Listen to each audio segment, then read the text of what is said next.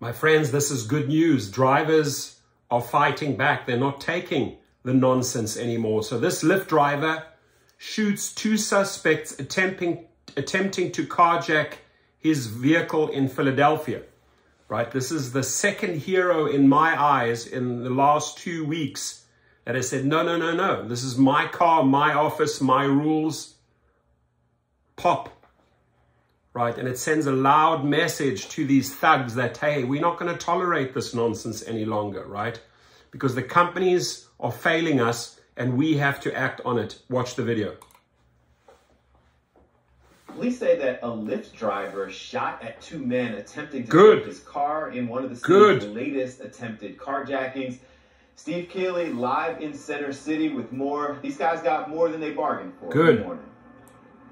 Yeah, this is when you always hear that TV news awful cliche, he turned the tables, right? Well, a lot of viewers always remind us that he turned it for the we had three different scenes here, and this, let me remind you, is after 2 o'clock in the afternoon, right across from Fairmount Park, right as people are outside. So there's witnesses at all the scenes.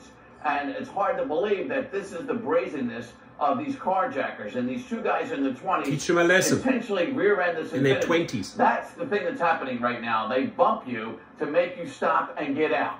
And they do it right in front of people. So they Don't don't, fall- care. don't fall for it. and this Infiniti driver has a woman passenger in his back seat, and it takes two bumps for him to say, "Hey, what's going on?" And when he gets out, the passenger in a Honda gets out with an automatic rifle and points it at him again in front of witnesses.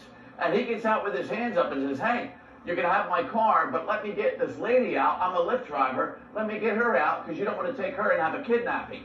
So they let him get her out of there, and then he waits for the carjacker Hero. to get into his car. Then he pulls his gun, and he has a concealed carry permit because you would think every Lyft driver and Uber driver who doesn't want to die on the job would have that as well. Here's the second scene.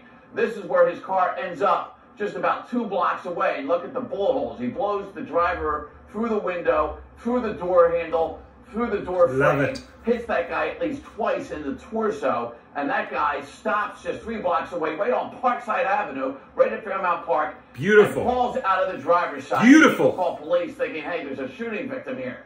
Meantime, he then turns to the Honda and shoots that driver through the passenger side of that. That guy makes it two blocks in the opposite direction after making a U-turn. Good- and he good marksman, boy. At Lancaster and 43rd Street. And then some more people call cops there. Meanwhile, he calls the police with his female passenger and witnesses who tell police the whole story. And they realize these two guys that they rushed to the hospital are now not victims, but prisoners.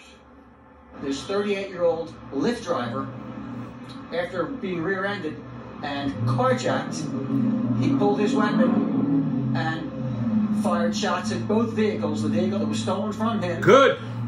fired shots at the Honda. The driver, who had the getaway car, struck both these individuals, and now they're both at the hospital as prisoners. I love it. This is so situation.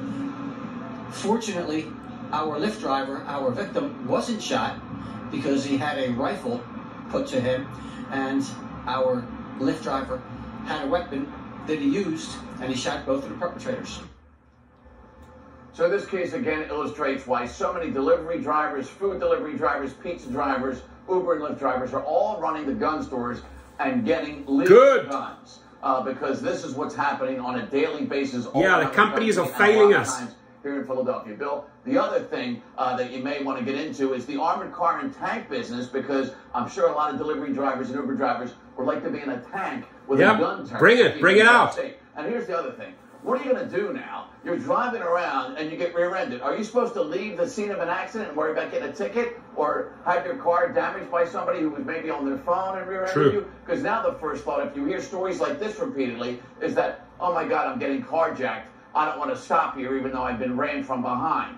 So that's the other quandary right now. Everybody watching is thinking, like, what do I do if I'm Call 911. Because this is happening right in the middle of the afternoon, like yesterday, right on Parkside. Police had so many witnesses at all the events at all three locations uh, because this is right in the daytime, and people thinking I got an accident victim here or I have two shooting victims. Let me help. Little do they know, it's two armed carjackers. They found that rifle that the guy had after he collapsed out of the car inside the Infiniti. It's interesting too, Steve, because as you pointed out, that's what they tell you to do. Like go to a populated area to make sure that everything is okay. And these guys are doing it in front of a group of witnesses. And police say that. Uh, this guy's a hero, man. He popped both those cars, both those thugs, you know, the getaway car and the other car. Took them out, right? Fantastic. I would love to interview this character, man. Because this guy sends a loud. They, they do this in the middle of the day.